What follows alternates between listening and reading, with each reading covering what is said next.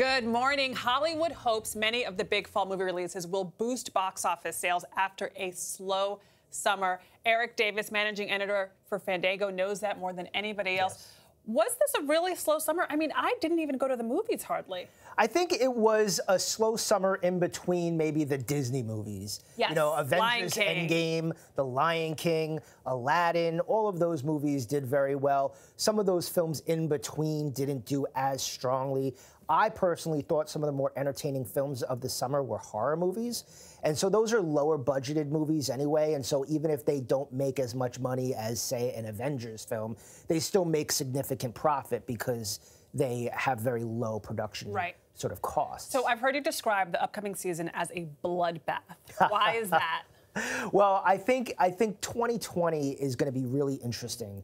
Um, you know, not so much the fall of 2019, but where you have all of these streaming services, the streaming wars, so they call it, uh, sort of coming with Apple and Disney and Warner Brothers and Universal and everybody launching streaming services. Uh, you know, in terms of existing ones, Amazon, Hulu, and then you have all of the movies hitting the box office. And so I think it's going to be a bloodbath in terms of just everyone fighting for your attention all, all over the place. And so, you know, next year there isn't Avengers movie, there isn't a Star Wars movie. There are big movies. Mm-hmm. Like I'm jonesing for Top, Top Gun 2 with Tom Cruise. I know. You know, there are some big movies coming, but I think the expectation is is that they aren't as big as the finale of the Avengers or the finale of the Skywalker saga. And so them competing against the streaming, and so there's just going to be a lot of attention you know, a lot of people fighting for your attention. And more and more, you're seeing movies that you would typically see in the movie theater out on places like Netflix, like yes. The Irishman, right? Yes, The Irishman, though, however, you know, Netflix,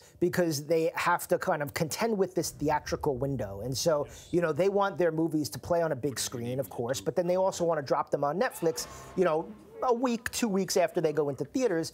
The big theater chains like, not so fast. We have our window. Everyone else abides by our theatrical window. It's got to play in theaters for X amount of time uh -huh. before you can put it on on the small screen. And so there is this sort of jockeying going on right now. Netflix extending that window. They have uh, a couple of films this uh, this fall.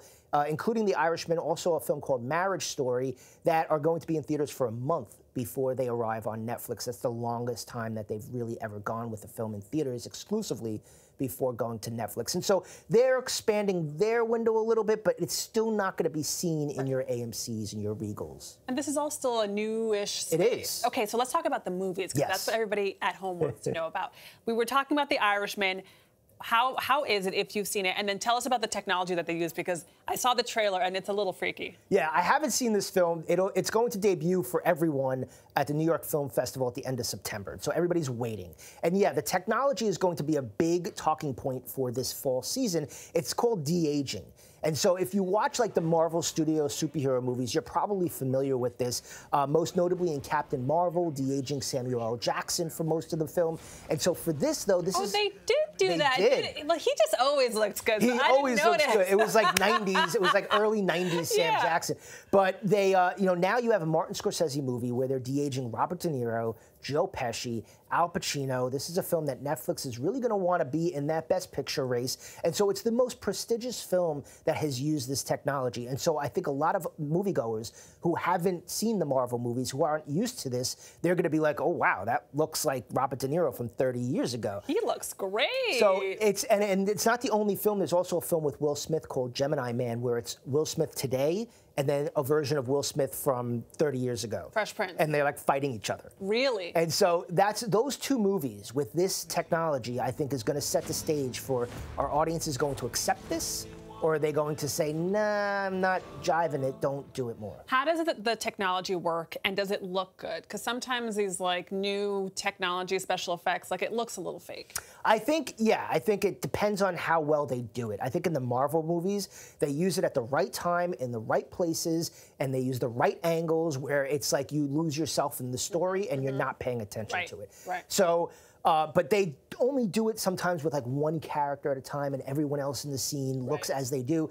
So when you have something like The Irishman where, you know, you're going to go and you could have De Niro and Pesci and, and everybody's talking about this technology, so people are going to be looking forward to seeing it and it's going to be on their minds when they sit down. To see a young Robert De Niro and a, and a young Pesci talking to Exactly. So, you know, it depends. And it really depends on you know, is that something that pulls you out? So it's going to be each individual moviegoer to decide, like, I'm fine with it. I can lose myself in a story. Mm-hmm. It doesn't bother me. And there are going to be some people that are like, it pulls me completely out of the film. I, I don't like it at all. Just like what we saw with 3D. You know, after James Oh, Cameron's I can't Avatar. do 3D. It, but it was a big deal, yes, though. You know, after Avatar. Mm-hmm. and so and and it became a big conversation because studios saw it as a big trend Yeah. and they rushed to like post convert films to 3D versus shooting natively 3D and audiences began to say you know this looks like cheap discount 3D Yeah. this is not what James Cameron did and so you know I think that there's going to be that time after this season where Hollywood looks and says okay our audience is revolting or are they on to this And then how does it work? Like, how do they even do? How do they make you look younger? Yeah, they do it in different ways. Uh, sometimes they'll put stuff on your face and on your body, and then they'll go in post production and they will literally frame by frame digitally No. erase wrinkles and And airbrush? and yeah, they'll they'll go in there and make you look younger, and it's it's just a very intricate process. Martin Scorsese has been, I think, working on the post production of this film for like nine months, ten months, mainly because of this technology. That sounds expensive. Okay, let's talk about some other movies. Yes.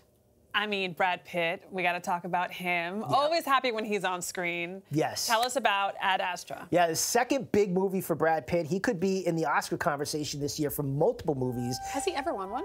He has he won one? I don't know. I don't believe he has. I don't believe he has. Um, but I could be wrong. I don't Tell, so tell us about the. But yeah, Ad Astra is, you know, every year around this time we get these big heady space movies. Gravity, The Martian, Interstellar. Ad Astra is going to be your heady space movie for the fall season.